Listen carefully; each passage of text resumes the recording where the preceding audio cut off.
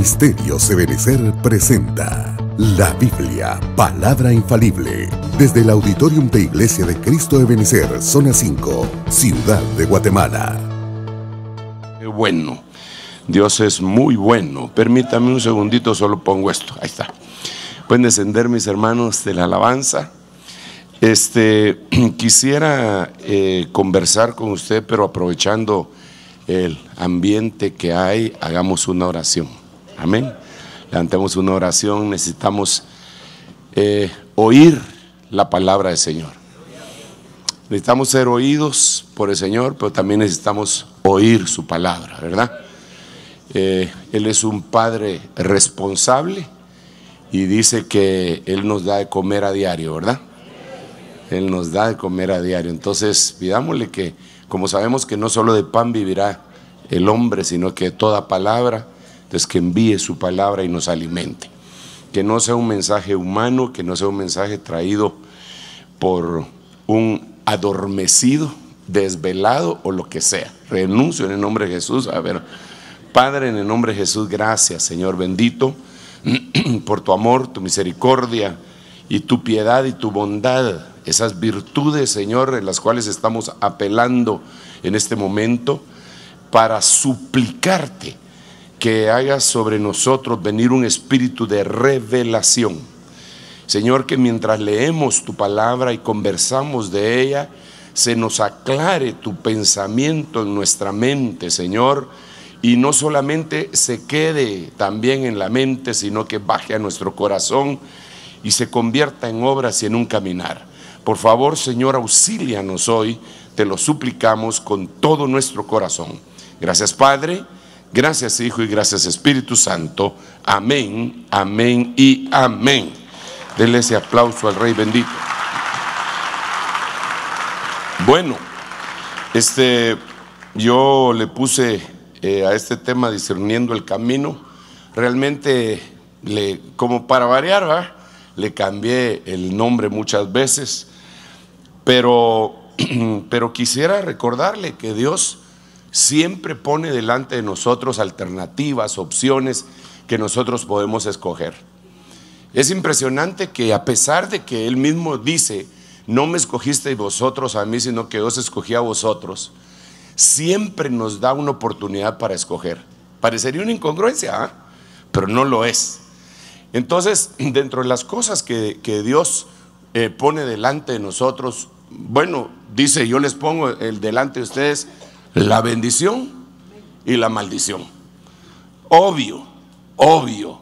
Todos nosotros, ¿qué es lo que recibimos? Bendición, reprendemos la maldición, decimos, no, esa que le caiga a otro, pero no a mí. Eh, pongo delante de ustedes la vida y la muerte. Obvio que lo que recibimos es la vida eh, pero, pero Dios es el que decide, porque podríamos decidir la vida y, y, Dios podría decidir otra cosa, como unos que decidieron la muerte y le pidieron a Dios la muerte como Elías y Dios le dio la vida. Pero de todos modos Dios nos da oportunidad de que nosotros hagamos una, una elección, una escogencia. Cuando se habla del camino, en Jeremías capítulo 6, verso 16, no lo puse acá porque usted se lo sabe de memoria, eh, dice, paraos por los caminos, preguntad por las sendas antiguas, cuál es el buen camino y andad por él. Pero no quisisteis. Bueno, dice, y hallaréis reposo para vuestras almas, pero no quisisteis. Entonces, lo, lo que me llama la atención es que habla de caminos, de camino y de sendas. Es decir, habla de uno en particular que todos entendemos que es Cristo, porque Él dijo, yo soy el camino, la verdad y la vida. Y también Él dijo que si éramos como Él, mansos y humildes, íbamos a hallar reposo para nuestras almas. Y en ese versículo de Jeremías 6:16, eso es lo que dice, andad por, hallaréis reposo para tu alma cuando te encuentres con ese camino. Pero las otras dos palabras, sendas y caminos, parados por los caminos. Pregunten. Porque puede ser que puede ser que ustedes crean que van bien, pero no van bien. Y, hermano, lo hemos platicado, lo hemos conversado en algún momento. Nosotros, eh, bueno, yo que vengo de mi casa a la iglesia, ese es mi camino. Casa, eh, aparte de Cristo, a la casa, a la iglesia, y la iglesia a la casa. Y algunas veces que voy eh, a, comer algo por ahí en el camino, por cierto, ¿verdad? Para no desviarse uno mucho del camino. cuando me toca ir a zonas que antes yo conocía como la palma de mi mano, me pierdo. Porque la vez pasada me perdí en la zona 12. Y, tuve que hacer uso vergonzosamente del Waze en, mi propio territorio. Pues si eso yo me lo manejaba, hermano, calle por calle, conocía todas las farmacias, los centros de salud, los médicos, todo lo conocía. Donde había vía, donde no había vía, donde había semáforo, todo está cambiado cambiado cuando sentí estaba por la universidad, pero no, hombre. Eh, entonces, a veces en la vida, así andamos. Ah, yo ya pasé por aquí. Y cuando sentimos más perdidos que el hermano Sergio en la zona 12. Tremendo, ¿ah? Entonces, hay que preguntar. Porque esa es otra de las cosas que tenemos nosotros, sobre todo si manejamos, ¿verdad? Y vamos con la señora y ella ya se dio cuenta que nos perdimos. Es la primera que empieza. Pregunta, pregunta en la gasolinera, mira, no, yo conozco. Si yo ya pasé por aquí. Y hermano, eh, en, la vida también. Tal vez, no sé si es la señora la que le dice a usted, eh, pregunta, no, los trapos sucios se lavan en casa. Yo ya pasé por acá. Y no hay modo que preguntemos. Pero el llamado de Jeremías 6:16 es, párense, deben de avanzar y pregunten. Pero al preguntar, también tenemos otro problema. Porque a veces uno le pregunta a la gente que también está perdida. ¿Dónde queda tal cosa? Mire, siga tres cuadras aquí, derecho, derecho, derecho. Ahí va a encontrar una farmacia. Y, ya eh, cuando llegue ahí, ahí no es. Le dan unas señales a uno todas marcianas. Entonces también hay que saber a quién preguntarle. Entonces tenemos que aprender a discernir. Entonces quisiera hablarle de estos versículos, este que, lo, también se lo sabe de memoria. Hay camino que al hombre le parece derecho, pero al final es camino de muerte. Pero no le parece que ya muy tarde para... Él, él, escogió un camino y ya cuando está muy tarde se da cuenta que es un camino de muerte, pero, pero ya para qué. Ya a esas alturas del partido, ya en el infierno la gente va a querer aceptar a Cristo. Olvídese, un montón de gente va a decir, ala, yo quiero aceptar, lo siento mucho, fue allá en la zona 5 cuando te hacían el llamado y te hacías el loco. No, pero no se podrá porque yo también oí en la zona 5 que Jonás lo mandaron al infierno y lo volvieron. Ah, pero ese era Jonás. Entonces, vos no llegás ni siquiera a Jo. Entonces, aquí te quedas. Bueno, eh, hay cosas que ya son demasiado tarde. Una vez que partimos de esta tierra, entre paréntesis, ya no hay oportunidad. Por muchos servicios religiosos que te hagan y paguen y oren por las almas y toda la cuestión, ya no se puede, ya no se puede. Es aquí en donde podemos decir, yo recibo a Jesucristo en mi corazón porque Él es el camino, Él es la verdad y Él es la vida. Y entonces Él me va a llevar al Padre. Denle un aplauso bien fuerte al Rey. El, camino que al hombre le parece recto es definitivamente el humanismo. Y el humanismo todo se centra en el hombre. Todas las cosas. El humanismo eh, no me estoy refiriendo a las... Eh, a la facultad de humanidades, ni que por si alguno estudia ahí, no, no, no me vaya a decir, ay, su hermano no quiere nada con, con ello. No, a veces, hermano, me interpretan mal lo que yo digo. A veces un hermano, la vez pasada me dijo, hermano, yo sé que yo sé que usted no cree en los sueños, pero fíjese que Dios me dio un sueño. Y yo sé quién le dijo que yo no creo en los sueños. No, pues eh, como usted dice, que, que, que yo no. Claro, yo digo que hay unos sueños que proceden de plátanos fritos y de una indigestión. Pero no quiere decir que, todos los sueños, yo sé que los sueños también son un lenguaje de Dios. ¿No le habló el Señor a un montón de gente por sueños y está registrado en la Biblia? Pues a José, a Faraón, le habló a Nabucodonosor, le habló a José, el papá putativo del Señor, le habló, hermano, a todo el mundo le habló, bueno, tal vez no a todo el mundo, pero la Biblia dice que Dios habla en medio de los sueños. Pero como yo dije de lo de los eh, eh, plátanos fritos, entonces yo sé que usted no cree en eso, hermano, pero ni modo, ¿verdad? Otro que me dijo, hermano, yo sé que usted eh, rechaza a los psicólogos. ¿Quién dice si uno de nuestros pastores con su esposa son psicólogos? Eso no es cierto. Así que usted está estudiando psicología, siga. Lo único que, bueno, ahí hablamos de eso después.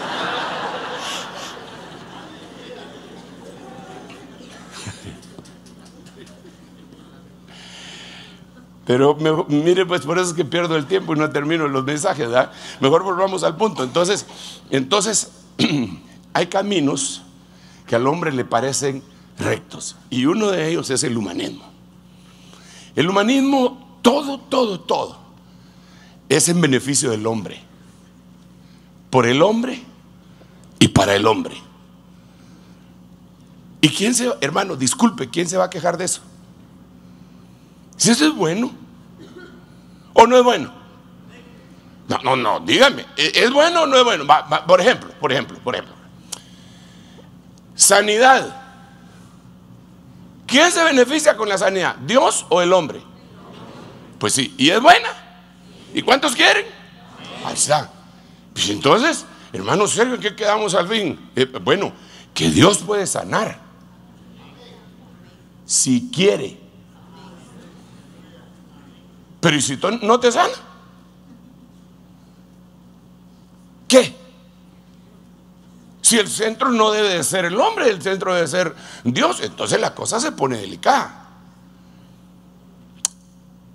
Vamos a cantar. Y pero vamos a cantar con la música que le gusta a los jóvenes o a los viejos o a los mm, sazones o a los camagües. Pues entonces al que vas a estar agradando es, es al hombre. Vamos a cantar, y eso es humanismo. Querer agradar a Dios es cristianismo. Querer agradar al hombre es humanismo, discúlpeme. Y el apóstol Pablo dice, si yo sirvo a los hombres, entonces dejé de ser siervo de Dios. la cosa no es tan sencilla como usted cree. Cuando decimos humanismo, la, eh, la cosa no es tan sencilla. Pero si le pasamos la lupa a casi cualquier actividad de las que hacemos, podemos ver, y esto no será, no será que soy un cacho humanista y el camino que me va a conducir a, a la muerte. Y yo el camino que quiero seguir es el camino de la vida.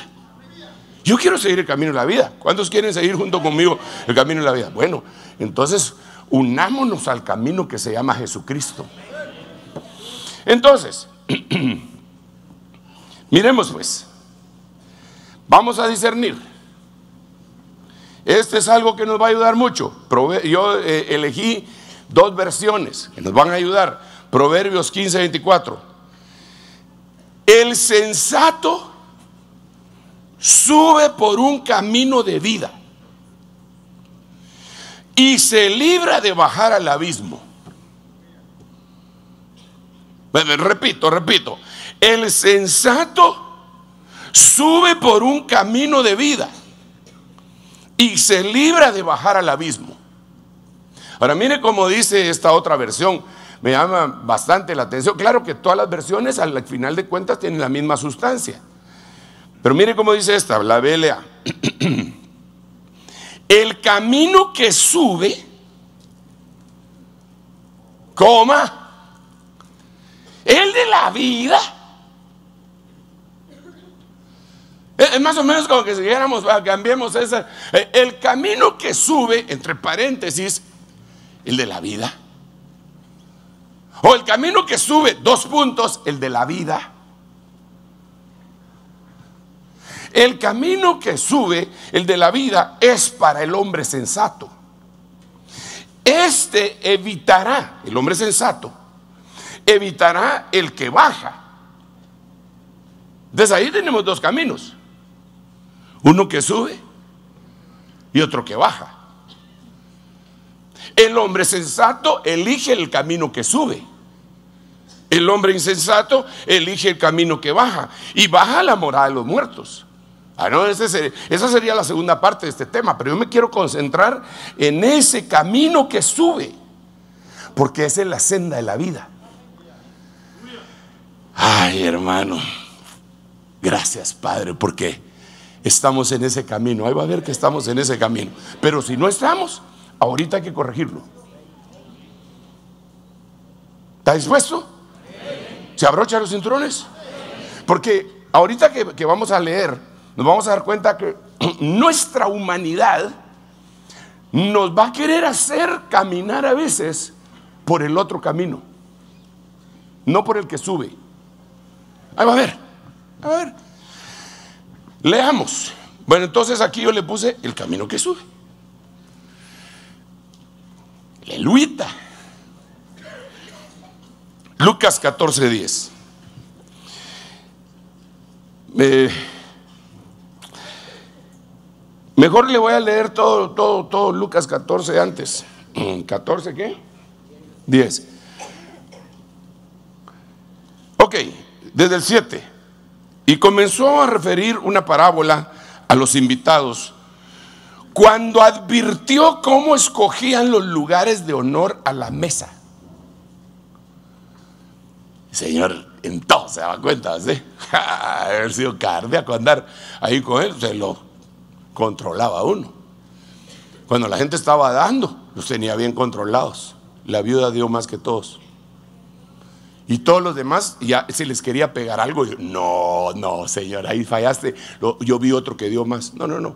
No estás viendo bien, vos estás viendo puro humano. Ella dio, ella dio todo lo que tenía. Por eso dio más.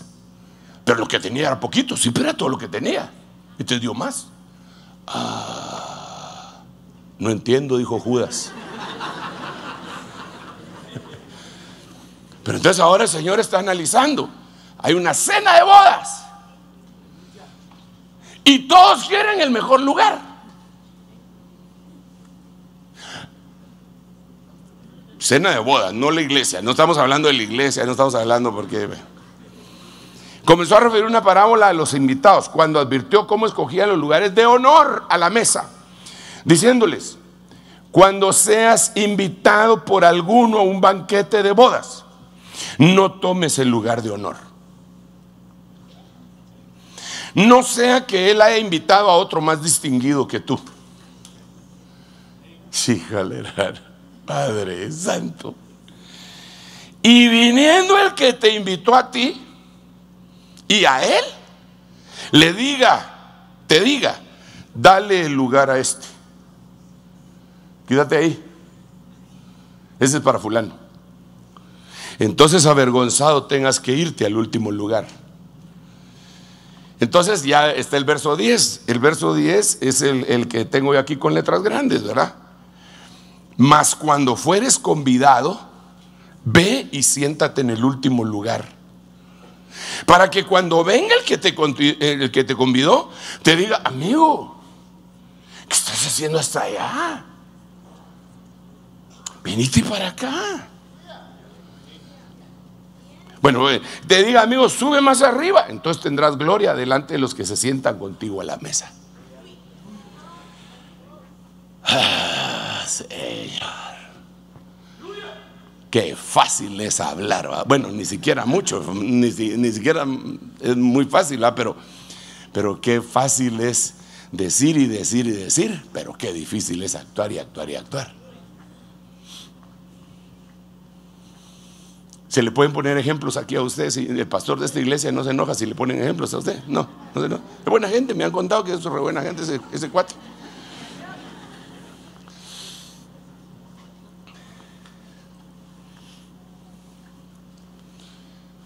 Ayúdame, Padre, que no me estén oyendo los implicados. Ya viene el retiro a usted. ¿Cuánto les gusta el retiro? Ese retiro hay que cambiar el anuncio. Dice en la palabra, el apóstol Sergio Enrique, ya se imagina yo 32 mensajes. No, en la palabra vamos a estar apóstoles, profetas, analistas, pastores y maestros. Solo yo no. Ahí le dicen a los muchachos que cambien eso, que pongan la palabra, va a estar todos. Es un anuncio falso.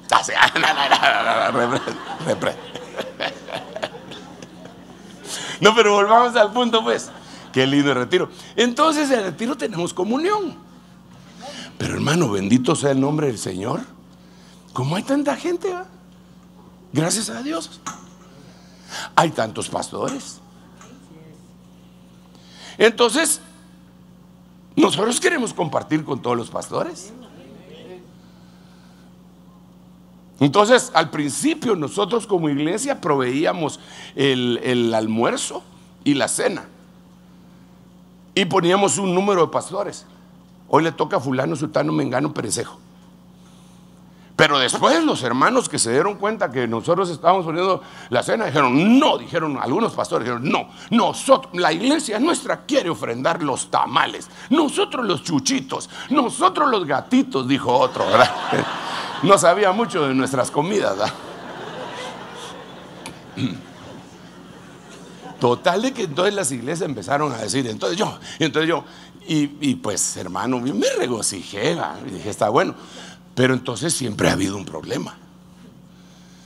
¿Cuántos pastores llegan?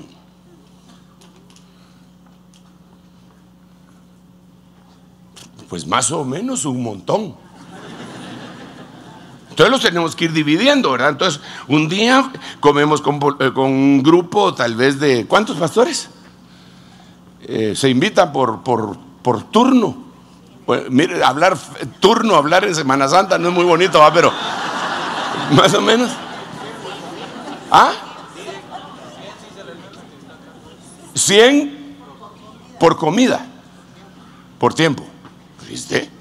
Son bastantes, ¿verdad? 100 por, por tiempo. Pero, pero hay, hay días que, que ese no puede entrar. No puede. Porque ya tenemos otros 100. ¿Y qué hacemos pues? Echémosle la culpa a los hermanos que, que, dan la comida, que regalaron la comida, que ni sabe con qué nos hemos topado. Mejor no le cuento. Se va a decepcionar. Nos hemos topado con pastores, con apóstoles. Pues a mí me dejan entrar. con mi familia y, hasta mi chucho traje. Porque para eso soy ministro de Dios. Nosotros le hemos, le hemos, tenido que decir, bueno, y los hermanos que están en la puerta, ¿qué le pueden decir? No, hermano, fíjese, pues que no sé qué, pero es que fíjese que tenemos instrucción. ¡No! Yo digo que esta vez vamos a poner un rótulo de Lucas 14:10 en la entrada.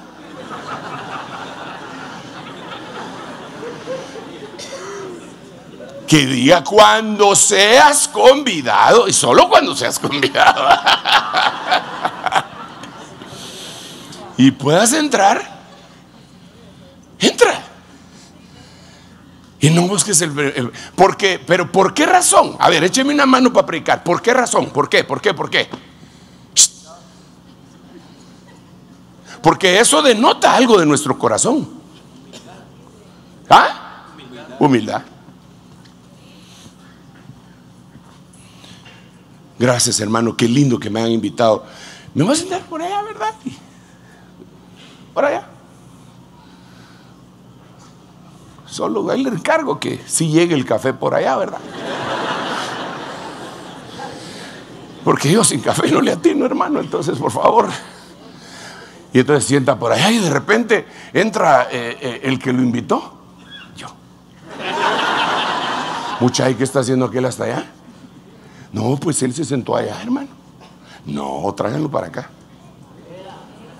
Tráiganlo para acá. Entonces ya llegan con él. Hermano, lo llaman.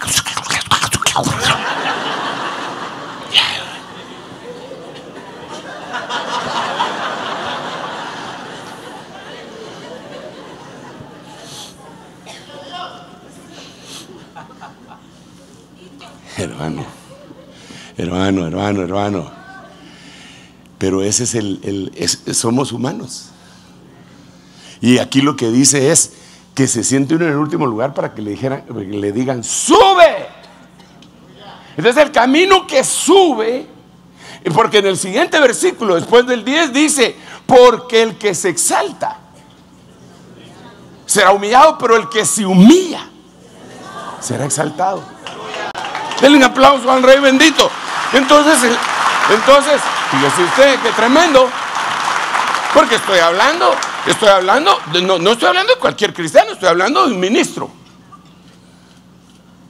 que no quiere eh, cumplir 14-10, eh, ni 11.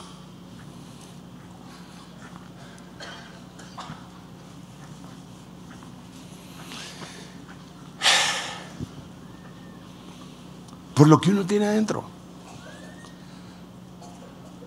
Mire qué bonito es. Se siente, pues, eh, se siente, hermano, porque somos ahí Dios. Bueno, yo, pues. A veces tal vez voy viajando y en algunas oportunidades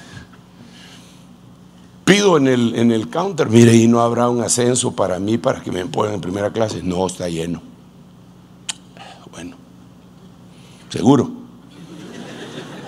Seguro. Bueno. A la solo, por favor, no me vaya a poner en medio de dos gordos. Póngame en el pasillo, ni siquiera en la ventana, porque si quiero salir al baño tengo que ir en, el pasillo. Está bueno. Mire, y si tiene el puerta de emergencia, mejor, porque ahí se puede estirar más los pies. ¿Está bien? Siempre le, encargo a que me dejen la lista ahí. Y ya cuando van a cerrar el avión, entra la señorita. Ya todos sentados. Señor Sergio Enríquez, señor Sergio Enríquez, señor Sergio Enríquez. Sí, yo.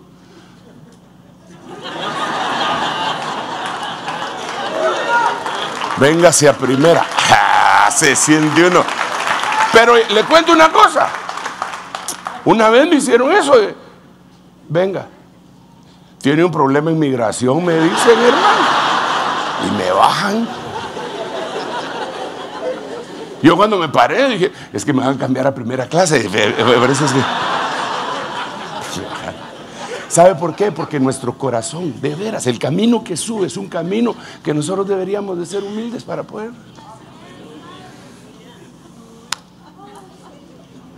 Yo le estoy poniendo ejemplos así sencillitos la primera vez que, fungí como servidor, no diácono, servidor. Fue en una campaña de hace como 500 años de la radio. De en ese tiempo la radio hacía sus campañas y traían predicadores y todo y pedían a las iglesias si podíamos si, si podían enviar gente para que sirvieran como servidores. Y yo me apunté y me enviaron. Y ahí estaba yo, hermano. Y de repente miro a dos señores, a un, señor y una señora peleándose. No, no así, pero sí alterados. Que no sé qué, que no sé cuándo, que por aquí, que por ahí. Entonces, como era servidor, yo llegué. ¿Qué pasó? Es que este es mi lugar, la señora. Y yo dejé mis cosas aquí y fui al baño. Y cuando regreso, él está aquí. Y quitó mis cosas. Es que yo soy pastor, me dijo él. Yo no, en ese tiempo creo que no había leído Lucas 14, 10. Un servidor cuadrando a un pastor. Por poco me quitan la cabeza.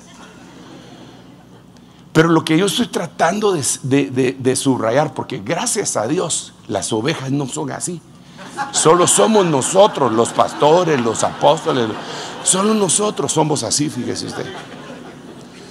Portese con el que tiene la par y usted no es así, hermano. Usted es una belleza de persona.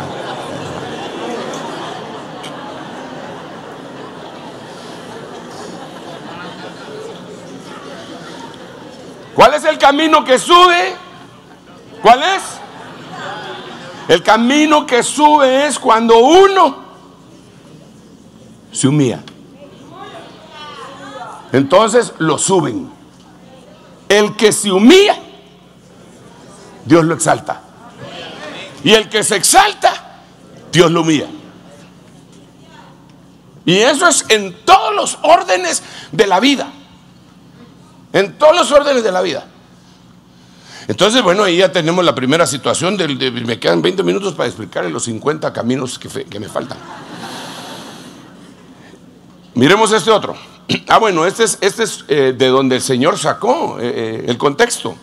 Proverbios 25, 7. Porque es mejor que te diga, sube acá, a que te humillen delante del príncipe a quien tus ojos han visto. Solo una cosita más, una cosita más. Si no te dicen que subas, pero tú obedeces quedándote de último, de todos modos te va a ir bien. ¿Un ejemplo? ¿Quieres un ejemplo? ¿A quién le lavaron primero los pies en la última, en, la Santa Cena del Señor? ¿A quién? ¿A quién? A Pedro. ¿Y por qué?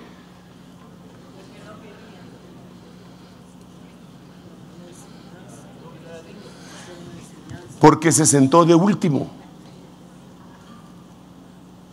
Todos los que llegaron eh, a la izquierda se puso Judas y a la derecha se puso Juan. Y todos se peleaban por los lugares. Entonces Pedro se quedó en la orilla, de último. Con la esperanza que quitaran a Judas. Pero no lo quitaron. Pero, pero cuando se levantó el Señor, al primero que le lavó los pies fue al último que estaba ahí. Por eso dice la Biblia que algunos últimos serán primeros. Entonces, como él obedeció y se sentó hasta allá, entonces el Señor fue, se levantó, usted sabe todo lo que sucedió, desde ahí, desde San Juan capítulo 12 en adelante está, y agarró una toalla, se quitó su vestido, se puso una toalla, agarró todo lo que tenía que hacer y se dirigió a Pedro. Fue el primero. Aleluya. Ahora, una cosa sí le voy a decir. Eso es difícil. Eso no es sencillo. Porque cada uno de nosotros tenemos un ego del tamaño de la mucosita. Que en paz descanse.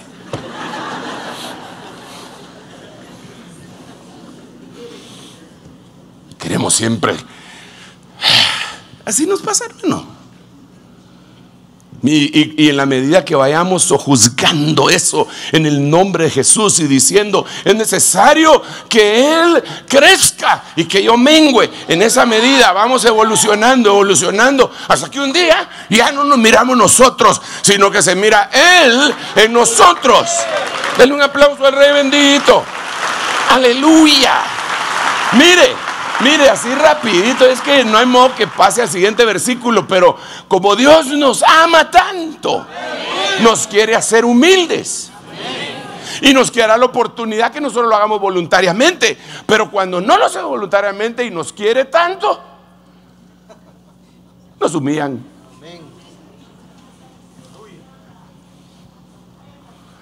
Va, una humillación. Enfermarse. Enfermarse es una humillación.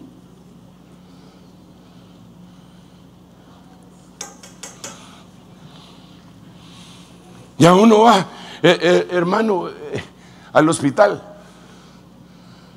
Y en el hospital lo primero es quítese la ropa. No, pero no me puedo quedar así, es que mire, yo soy ministro. Quítese la ropa. Y póngase esta bata. Y, yo, yo todavía, tal vez el hermano que es doctor me, ilustra. Hermano, aquí tenemos otro doctor que, que, me ilustren. ¿por qué la bata de los hospitales no se cierra por adelante?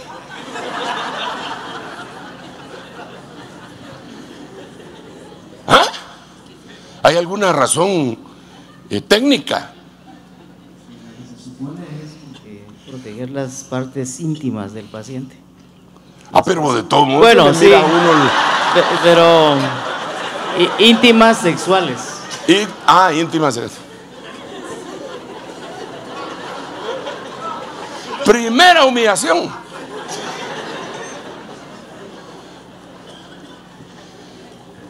Me llevan al hospital un día a mi hermano y, y me dice, le vamos a hacer un MRA.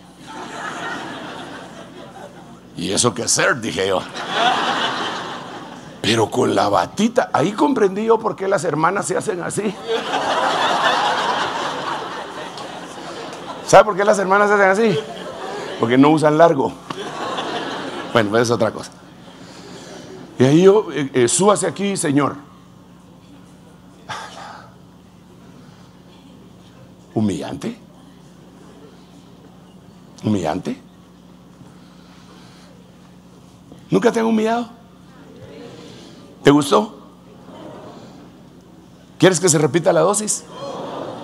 Entonces, sé humilde, aprende.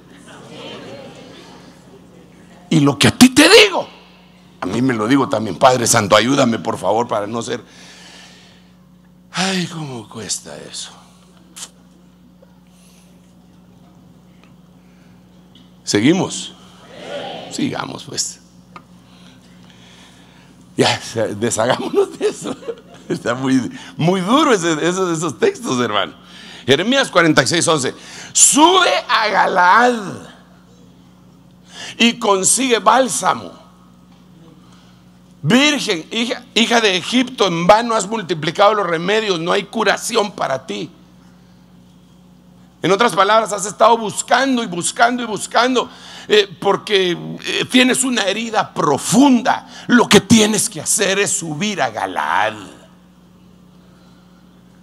Y Galaad es una palabra eh, que fue el lugar en donde hicieron aquel montículo entre Jacob y Labán y que quiere decir, es un como monumento que quiere decir colina del buen testimonio. Sube a la colina del buen testimonio y obtén el bálsamo. El bálsamo es para curar heridas.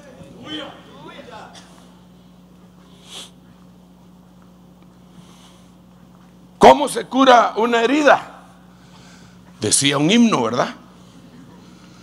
Muy criticado, por cierto, por algunas personas y por otros, eh, pues lo cantaban. Pero yo no estoy refiriéndome al himno. Eh, se cura de diferente manera. Se le tiene que echar algún. Se tiene que desinfectar, me imagino yo. Eh, me da pena decir cómo se cura aquí enfrente de, de médicos, pero, pero la lógica me dice que lo primero que tienen que hacer, que la, la herida la tienen que lavar con agua, jabón y después echarle saber qué cosas, antiséptico, alcohol, cerrarla, darle un antibiótico, no sé. ¿Gané o perdí? Gané. Ya saqué herida 1. Ahora apliquémoslo, apliquémoslo a, la, lo espiritual. Bueno, una de las cosas, me imagino yo, que se, eh, cuando se va a curar una herida es dejar de estársela tocando a cada ratito. Pues, tienes una gran herida de alguien que te hizo y cada ratito te estás rascando. Es que lo que me dijo. Es que viera como los ojos los tenía inyectados, puro endemoniado, fíjese va a derrascarse la herida. Y sabe, tres veces me lo dijo. Y pasa el tiempo y como a la hora. Y me gritó.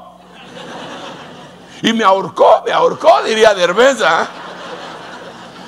Pues, hermano, Debe estarte tocando esa herida y límpiala. Pero el bálsamo es para suavizarla. Entonces tu alma que ha estado herida Sube a la colina del buen testimonio. Es el camino que sube y que te sea derramado bálsamo.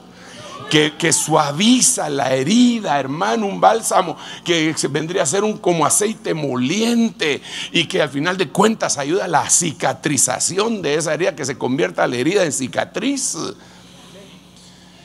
Porque ¿quién de nosotros no somos heridos en algún momento en la vida? ¿Quién? Todos nosotros, hermanos. Y por eso cuando algunos empiezan a decir, es que este tipo que era un asesino en serie, tuvo una vida así, así, así, así. Sí, pero el otro le fue peor y no es asesino, es el policía que lo agarró.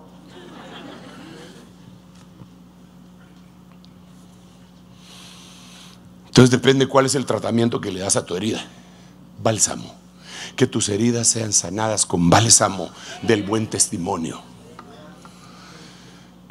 Me gustó mucho y yo sé que usted lo sabe, pero déjeme decírselo.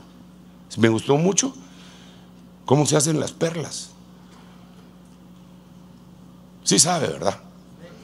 Porque las ostras están como comiendo así en el, fondo de, donde, del mar eh, y se abren así y de repente a veces entran granitos de arena y lastiman la carne de, de esa, de esa ostra y entonces para curarla le empiezan a recurrir como con nácar.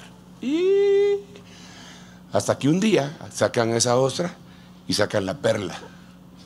Y ahí anda la señora con una gran perla aquí va. Solo necesita que hieran a otra para ponerse otra aquí va. Entonces que tu herida se convierta en una perla. Y le digas al Señor, tú me has cubierto con un nácar. Tú me has bendecido, tú me sanaste.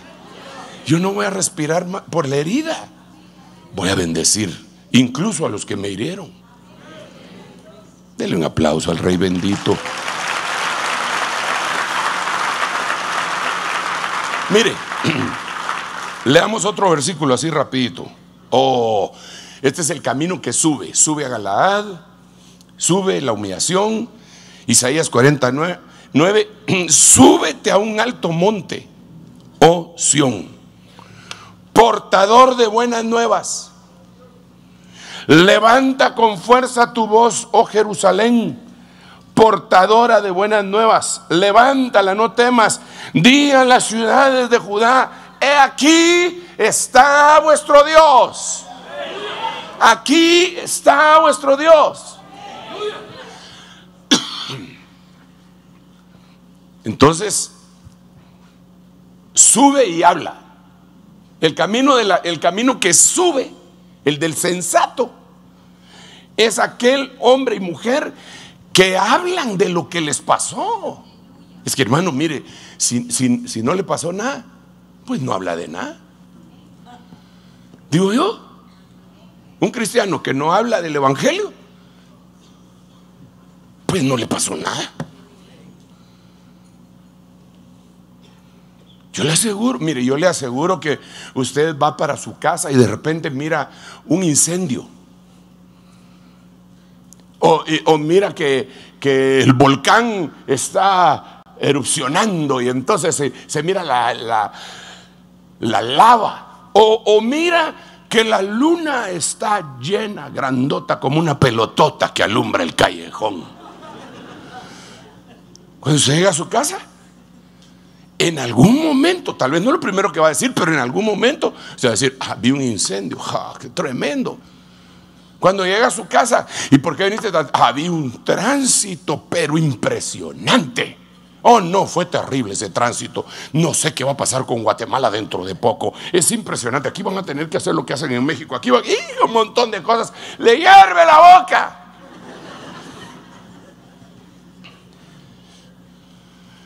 Si tuve una experiencia con Cristo. ¿Por qué viniste tan tarde si el culto se termina a las nueve? La predicación se terminó a las nueve, pero yo quedé moqueando ahí como hasta las once. Me tuvieron que sacar. En su pilotío me dejaron tirado en la calle. no, no, tampoco somos así.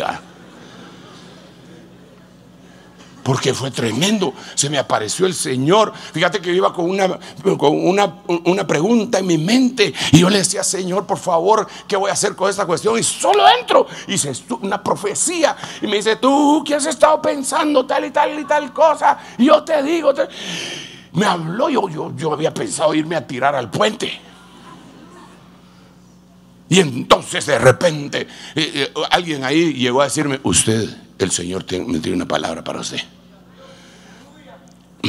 Dice que el puente más bajo, no, no, no. dice que, que, no, que, no pierda el ánimo. Si lo pierde va a perder la vida. Que la vida es un regalo. Y le empieza, hermano, ¿de qué va a hablar ese otro? ¿De qué va a hablar?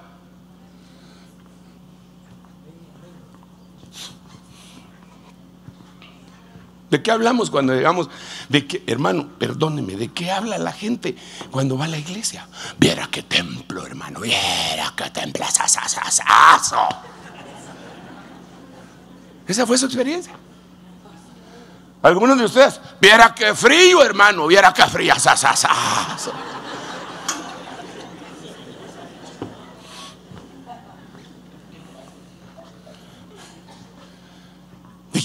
¿De qué, vas a hablar de la experiencia? Entonces ahora le dicen a esa, súbete a un monte alto, sube. Portador de buenas nuevas.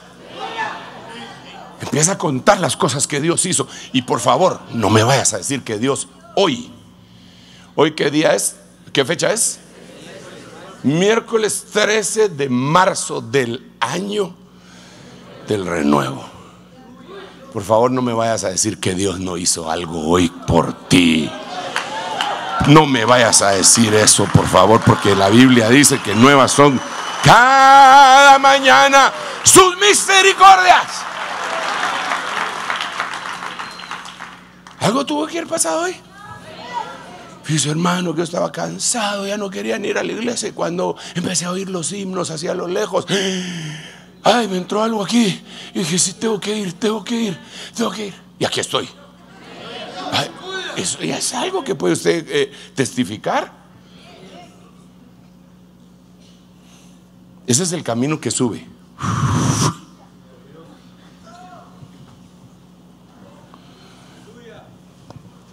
Yo no digo que no estemos empapados de las cosas que pasan a nuestro alrededor.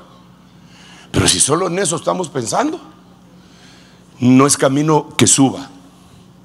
Ya sabe cuántos allanamientos hicieron hoy.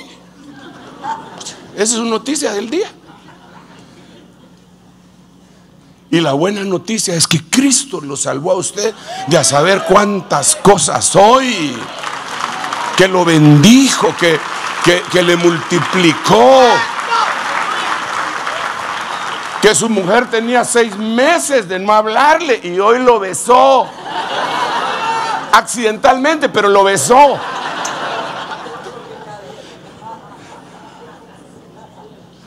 Creyó que era su hijo, que adiós mío, y, y usted se aprovechó.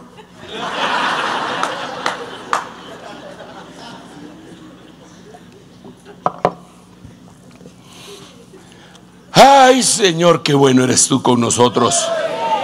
Bueno, no solo con nosotros, es bueno con todo el mundo. Lo que pasa es que nosotros lo reconocemos. ¿Cuántos creen que Dios es bueno? Yo también. Miremos otro versículo rápidamente. Oh, este es tremendo. Este es el camino que sube. ¿Quién es esta que sube del desierto? Recostada sobre su amado. Debajo del manzano te desperté, ahí tu madre tuvo dolores de parto, por ti ahí tuvo dolores de parto la que, y te dio a luz. Ok, pero lo que me llama la atención es la primera parte de este versículo. Las otras son gloriosas, pero no es el momento de hablar de ellas ahorita. Ahorita es, ¿quién es esta que sube del desierto? Recostada en el brazo de su amado. Estaba en el desierto no era necesariamente el, mejor de sus días. Y empezó a clamar, a suplicar, a bendecir. Señor, por favor, no me dejes, tú eres mi vida, yo me agarro de ti, a ti correrá el justo y levantado será, aunque ande en valle de sombra de muerte, no temeré mal alguno porque tú estás conmigo, Señor, no me abandones, por favor. Ay, Dios mío, hasta que viene la respuesta, ¿verdad? Y se para la hermanita que, que, da la bienvenida y le recita aquí Isaías 40:10. No temas porque yo estoy contigo. Y, y de bienvenida.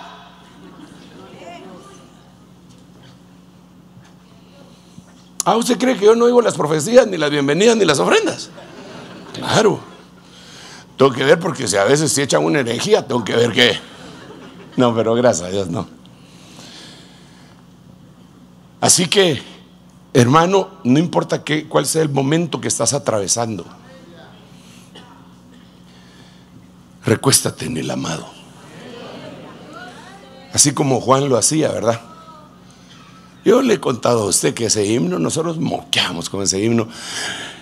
De vengo a suplicarte, mi Señor, que me dejes reposar. Ahí yo me hacía como que era Juan, hermano. En tu amante pecho, mi Señor, como el apóstol Juan.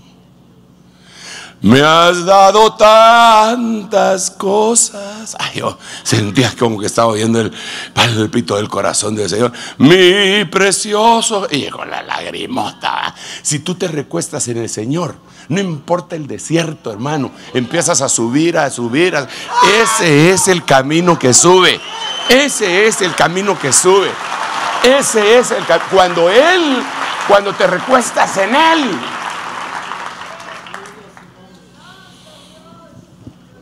No que te tengan que dar, eh, eh, eh, de estar poniendo, mm, espiritualmente hablando, pues simbólicamente, sueros vitaminados espirituales para, ah, me debo pasarla. Ay, sí, sí, ya. No.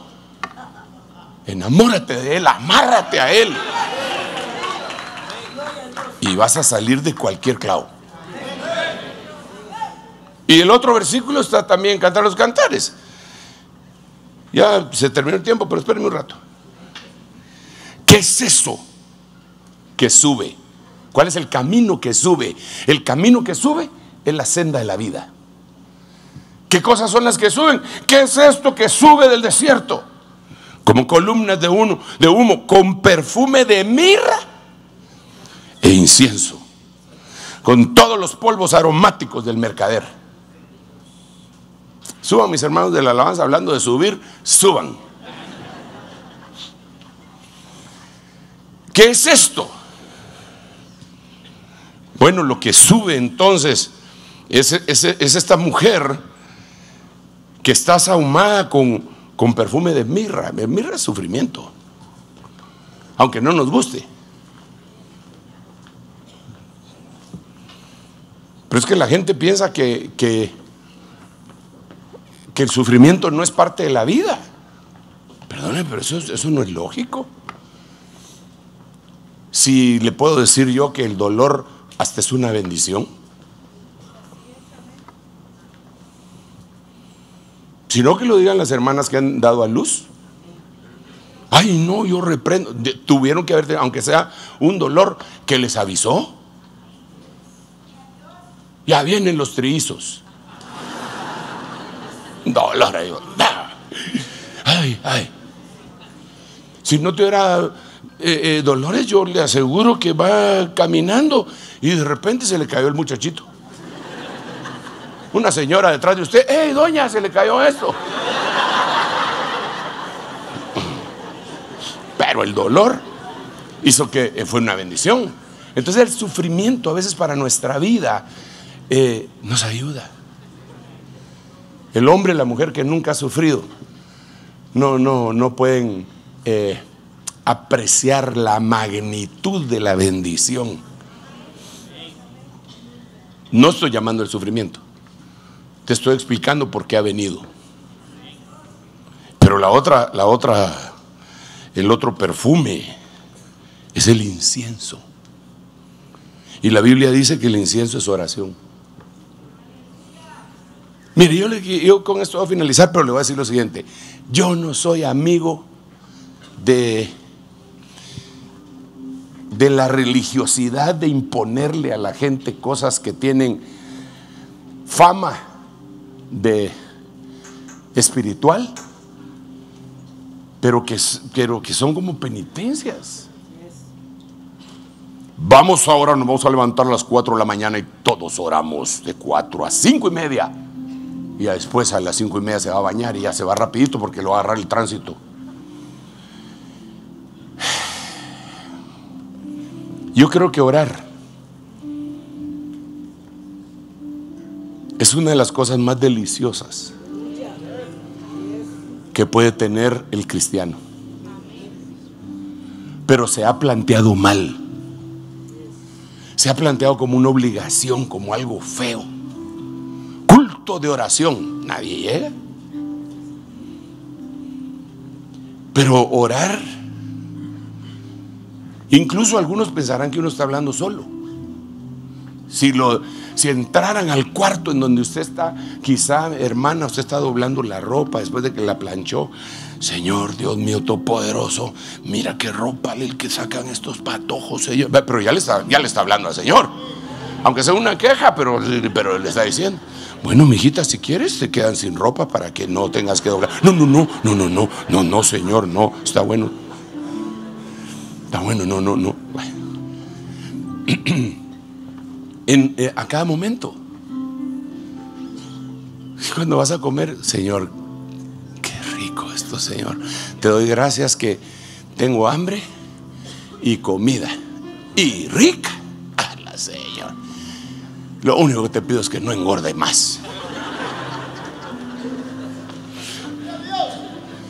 Pero yo creo que debe ser un diálogo. Y de ese diálogo, ¿quién se puede aburrir? Hablar con Él. Tú sabes, Señor, conoces mi corazón. Tú sabes que yo no fui el culpable de eso. Es cierto. Yo dije un par de cosas, pero no fui yo el que empezó, Señor. Pero estás hablando con Él. Estás hablando con Él. ¿Por qué lo tenemos que hacer tan religioso? Padre Creador, del cielo, de la tierra y de toda la bóveda celeste. Que los antiguos griegos creían que Atlas era la que llevaba a Memeches.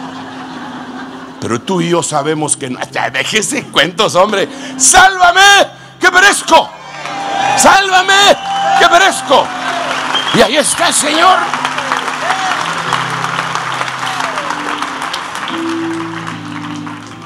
¿Cuánto tiempo oras?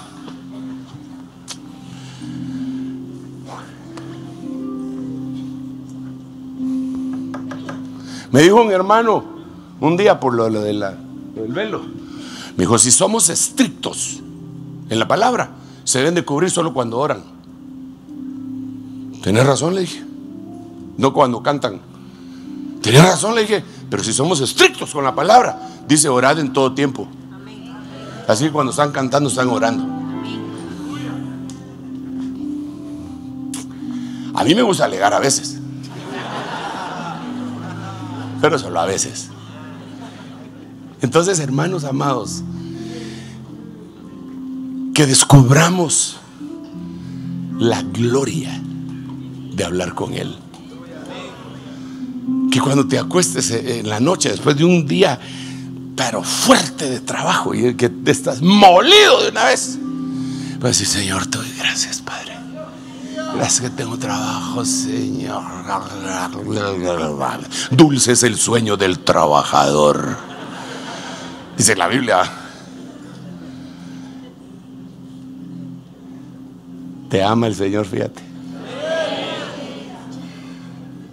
Te ama el Señor.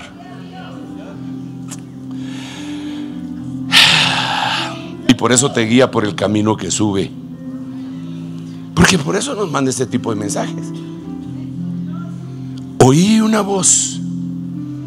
Era la primera voz como la que oí, la voz como de trompeta que me habló al principio y que me dijo, sube acá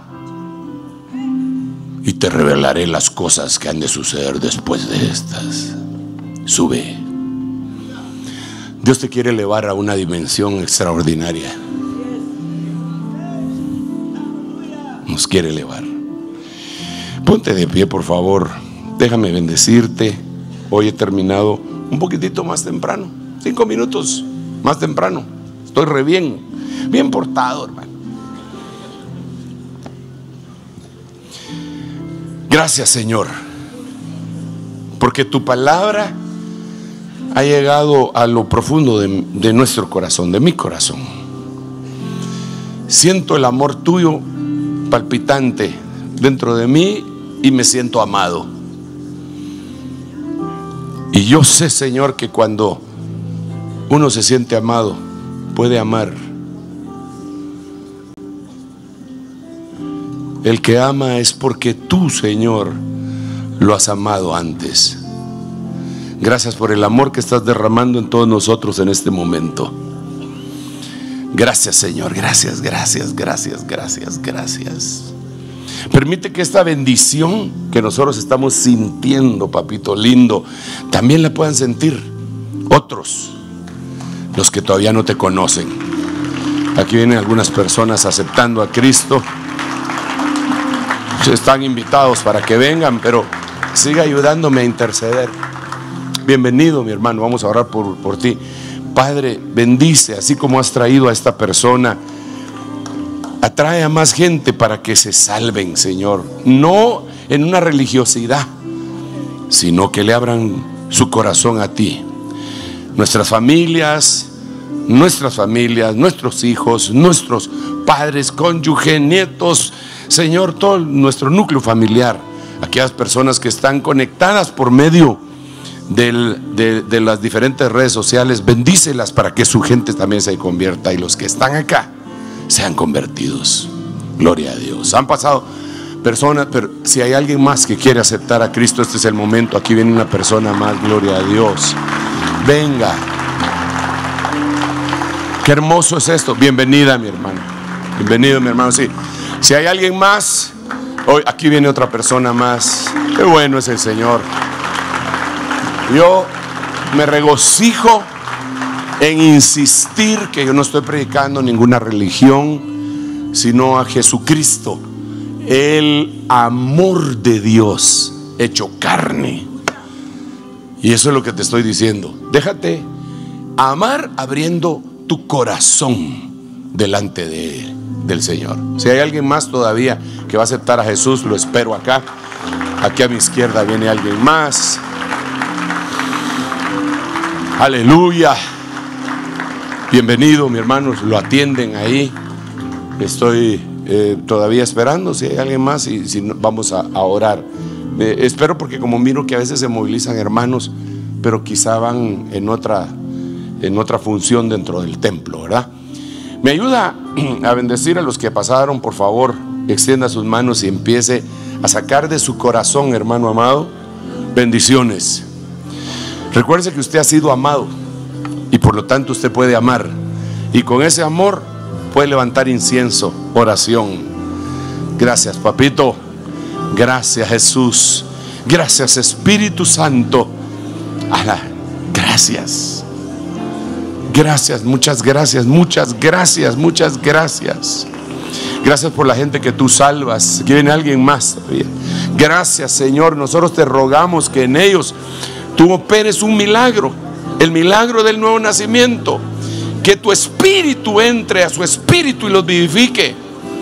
Y que sus nombres sean escritos en el libro de la vida del Cordero que fue inmolado. Y nunca sean borrados. Nunca, nunca, nunca. Eso es, eso es. Cántale al Señor y recibe la bendición. Ministerios Ebenecer presentó la Biblia, palabra infalible, desde el Auditorium de Iglesia de Cristo Ebenecer, zona 5, Ciudad de Guatemala.